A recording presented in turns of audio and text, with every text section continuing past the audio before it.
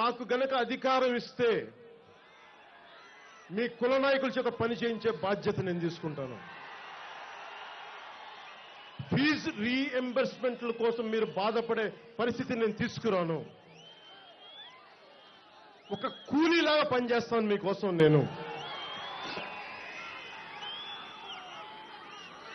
అలాగే కులం కులం మనం మాట్లాడుకుంటా ఉన్నాం. ఇక్కడున్న పేరు ప్రస్తావించట్లేదు నేను ఆ వ్యక్తుల పేర్లు. నేను తెలుగుదేశంని అందలం ఎక్కించడానికి ఉన్నాను. అమ్మవారి కొమ్ము కాస్తున్నారు ఇలాంటి పిచ్చి మాటలు మాట్లాడుతూ ఉంటారు. కులం అనేది ఎంత ఫార్స్ అనేది నేను చెప్తాను. జెండా కింద దించాం వాళ్ళకి అడ్డం వస్తుంది కింద నాకు వంగవీటి రంగా గారంటే గౌరవం ఉంది ఆయన చిన్నప్పుడు నేను చూశాను.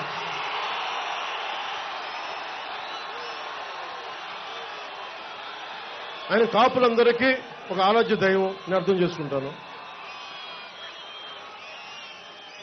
జెండ దించు జెండ దించు. వెనకాల కనిపించు. నేను అర్థం చేసుకుంటాను. కానీ మీరు గుర్తుపెట్టుకోవాలి కులాన్ని గురించి ముఖ్యంగా యువతకి మాట్లాడుతున్నాను. పరివర్తన రావాలి.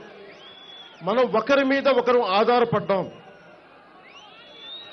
పరివర్తన జరగాలంటే మీకు మూలాలు తెలియాలి. మీకు మీ నాయకులు మీ కుల నాయకులు చెప్తున్నారో లేదో నాకు తెలియట్లేదు. నేను చెప్తున్నాను ఈ రోజున మీకు. నేను రంగా గారిని చిన్నప్పుడు మా ఇంట్లోనే చూశాను. ఆయనకి నేను టీ కూడా తీసుకెళ్ళి ఇచ్చాను. అలాంటి నాయకుడు నన్ను చంపేస్తున్నారంటే మీరు అప్పట్లో ఉన్న ఆ- ఆయన మద్దతుదారులందరూ మచిలీపట్నం నుంచి పామర్ నుంచి గుడివాడ నుంచి ఎందుకు ఆయనకి అండగా ఉండలేదు? చనిపోయిన తర్వాత విగ్రహాలు కట్టి ప్రయోజనం ఏంటి? బతికున్నప్పుడు ఒక నాయకుడిని కాపాడుకోలేకపోతే చనిపోయిన తర్వాత దానికి ఎన్ని విగ్రహాలు పెడితే ప్రయోజనం ఏముంది?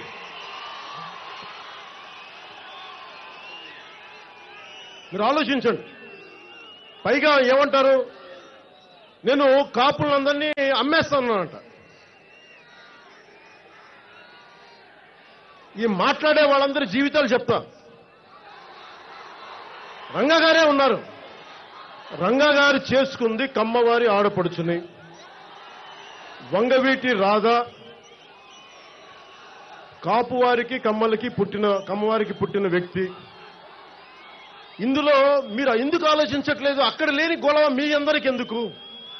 యువత ఎందుకు ఈ గోల రంగా గారు ఆయన బాగానే చేసుకున్నారు. వారి అబ్బాయి బాగానే ఉన్నారు.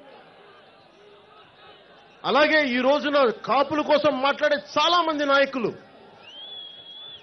కమ్మవారిని చేసుకున్నారు రెడ్డి సామాజిక వర్గాన్ని చేసుకున్నారు బీసీల్లో పెళ్ళి జరిగినాయి ఎస్సీల్లో పెళ్ళిళ్ళు జరిగినాయి. నా పార్టీలో కూడా ఉన్న నాయకులు వారి పిల్లలకి ఇచ్చారు. ఇంకా కులం అనేది ఎంత పట్టుకొని మనం వేలాడతాం అభివృద్ధి చచ్చిపోతా ఉంది. కులం కులం కులం అని కొట్టుకొని చచ్చిపోతా ఉన్నాం మనం. రెండు వేల యాభై కూడా డెబ్బై ఐదు సంవత్సరాల స్వాతంత్రం వచ్చిన తర్వాత కూడా ఇంకా కులం కులం కులం అని కొట్టుకు చచ్చిపోతున్నాం. ఇది మారాలని నేను కోరుకునే పరి ప్రజల్లో పరివర్తన రావాలని మీ అందరినీ చేతులెత్తి నేను వేడుకుంటా ఉన్నాను. మీరు నమ్మకండి. మరి నన్ను తిట్టే కాపు నాయకులందరూ వెళ్ళి రెడ్డి సామాజిక వర్గానికి చెందిన ముఖ్యమంత్రి మీకు ఓకేనా? ఆయనకి మీరు ఉడిగం చేస్తే ఓకేనా? అది నేను అడగచ్చు కదా? సంస్కారం కాదు నేను పట్- మాట్లాడకూడదని నిర్ణయించుకుంటా. ఆ రిబటల్స్ అలాంటి రిటార్ట్లు ఇవ్వలేక కాదు. అలాంటి భాష రాక కాదు. కానీ నాకు అన్ని కులాల్లో అభిమానులు ఉన్నారు. అన్నింటికీ మించి నేను సమాజాన్ని చాలా విశాల దృష్టితో చూసే వ్యక్తిని. మీరు ఇది అర్థం చేసుకోండి. ఒక్క కులం మీద సమాజాన్ని నడపలేం. ఒక్క మతం మీద సమాజాన్ని నడపలేం.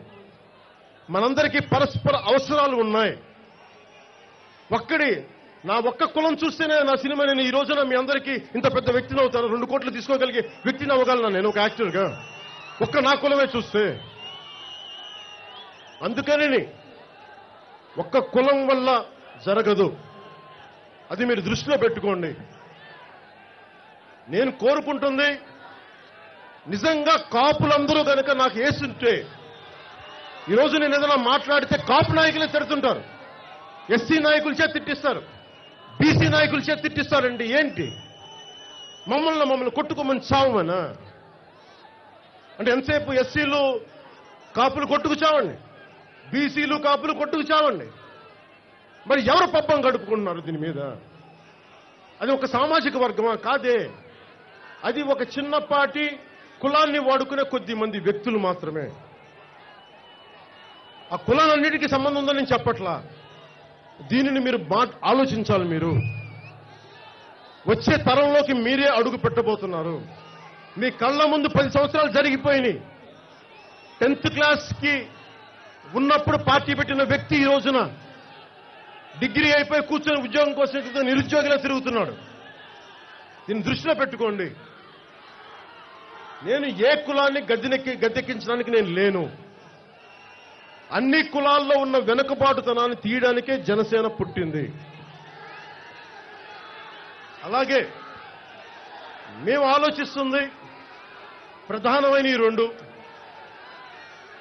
నువ్వు అగ్ర కులంలో పుట్టావా పేద కులంలో పుట్టావా అని పక్కన పెట్టి నీకు ఎకరం ఉంటే నీకు ఆరోగ్యశ్రీ రాదు అమ్మఒడి రాదు ఇలాంటి పదాల కంటే కూడా యూనివర్సల్ హెల్త్ కేర్ ఎడ్యుకేషన్ ఈ రెండు మటుకు